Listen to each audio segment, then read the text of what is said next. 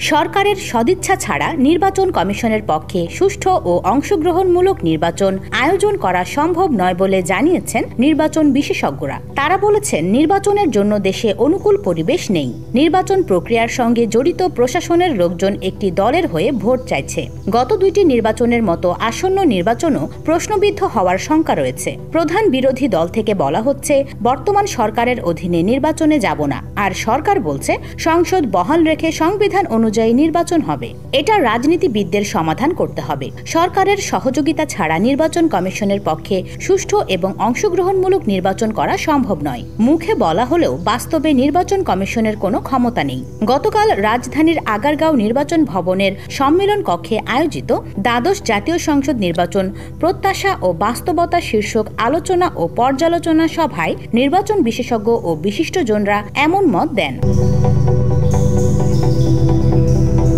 মুখে বললেও বাস্তবে নির্বাচন কমিশনের কোনো ক্ষমতা নেই বলে মন্তব্য করেছেন স্থানীয় সরকার বিশেষজ্ঞ ডক্টর তোফায়েল আহমেদ। তিনি বলেন, আমরা শুধু মুখে বলি নির্বাচন কমিশন ক্ষমতাবান, কিন্তু বাস্তবে কিছুই নাই। সংকটটা এত কঠিন, সব দায় কমিশনের উপর দিয়েও লাভ নেই। একের পর এক এমন চলতে থাকলে মান মর্যাদা থাকবে না। তিনি বলেন, নির্বাচন প্রক্রিয়ায় সেনাবাহিনীর সংশ্লেষ পরিবেশ তৈরিতে সহায়তা করবে। এই পরিবেশ থেকে উত্তরণে আদালতও ভূমিকা রাখতে পারে, কারণ কোর্টের রায়ের ফলে এই সংকট তৈরি হয়েছে। ইসির উদ্দেশ্যে তিনি বলেন, আপনারা সবার থেকে পরামর্শ শুনছেন, কিন্তু পরামর্শ বাস্তবায়ন করতে পারেননি।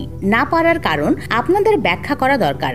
আপনারা প্রিজাইডিং অফিসারের ক্ষমতার কথা বলছেন যে, সুষ্ঠু পরিবেশ মনে না হলে সব ফেলে তিনি চলে আসবেন। প্রিজাইডিং অফিসারের ঘাড়ে কয়টা মাথা যে তিনি সবকিছু ফেলে চলে আসবেন? সাবেক নির্বাচন কমিশনার ব্রিগেডিয়ার জেনারেল অবসরপ্রাপ্ত এম শাখাওয়াত হোসেন নির্বাচন কমিশনের উদ্দেশ্যে বলেন জামালপুরের মতো ডিসিদের বিরুদ্ধে আপনাদের সিদ্ধান্ত নিতে হবে। জামালপুরের ডিসি বলেছেন, আওয়ামী লীগ সরকারকে আবার ক্ষমতায় আনতে হবে। এই খবর সব পেপারে দেখলা। এই ডিসিদের দিয়েই আপনাদের নির্বাচন করতে হবে। এদের দিয়ে ক্রেডিবল অর্থাৎ বিশ্বাসযোগ্য নির্বাচন হবে না। সাবেক মন্ত্রিপরিষদ সচিব আলী ইমাম মজুমদার বলেন, দেশের প্রধান বিরোধী দলসহ বেশ কিছু দল বলছে যে, বর্তমান সরকারকে ক্ষমতায় রেখে তারা কোনো নির্বাচনে অংশগ্রহণ করবে না। পাশাপাশি সরকারে যারা আসীন আছেন, তারা বলছেন সংবিধান অনুযায়ী নির্বাচন অনুষ্ঠিত হবে। অর্থাৎ তারা ক্ষমতায় থাকবেন এবং যে সংসদ আছে, সেই সংসদও বলবৎ থাকবে। এই অবস্থায় নির্বাচন অনুষ্ঠিত হবে। এই জিনিসটা অবশ্যই নির্বাচন কমিশনের দায়িত্বের মধ্যে পড়ে না। এটা রাজনীতিকদের সমাধান করতে হবে। সাবেক রাষ্ট্রদূত মোহাম্মদ হুমায়ুন কবির বলেন, এখন ভীতিকর পরিস্থিতি বিদ্যমান।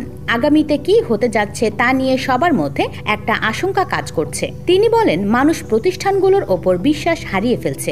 এর মধ্যে নির্বাচন কমিশনও রয়েছে। সরকার আগামী নির্বাচন সুষ্ঠুভাবে করার নিশ্চয়তা দিয়েছেন জানিয়ে প্রধান নির্বাচন কমিশনার কাজী হাবিবুল আওয়াল বলেছেন, প্রধানমন্ত্রী স্পষ্টভাবে কয়েকবার সুষ্ঠু নির্বাচনের নিশ্চয়তা দিয়েছেন।